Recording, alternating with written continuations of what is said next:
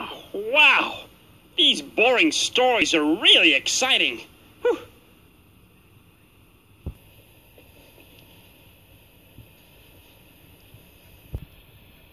I just got this disguise kit, and it says fool your friends. It says with these disguises, even your best friend won't recognize you. So what I'm going to do is I'm going to go outside and put one of them on and come back in and fool my old buddy Bert. Hey Bert, I'm going outside now. Bye. Hey, listen, Bert. I'm not going to be back for a long time, so if someone comes, go to the door, please. Okay? Um, whatever, Ernie. Oh, I don't believe this. The prince just drank a glass of water. Whew.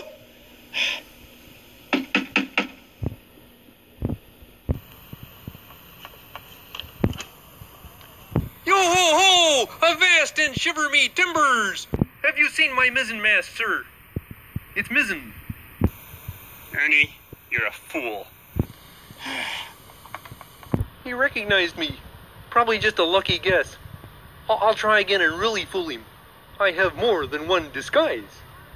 Hey, Bert, I'm very sorry I disturbed you. I'm going out again, and I won't be back for a long, long time.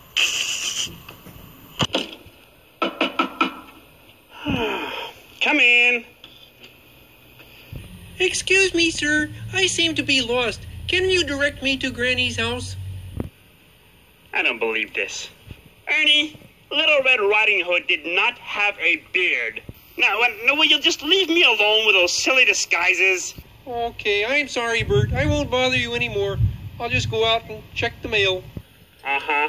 Uh huh. Sure, Ernie. Sure, sure, sure. Oh boy.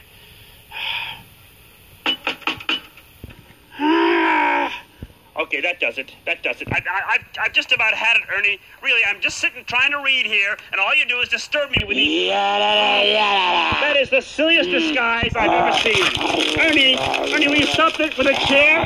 Stop it, Ernie. Ernie, will you, will you leave the Hey, chair alone? What? Are you talking to me? Yes, I am. Will you please leave?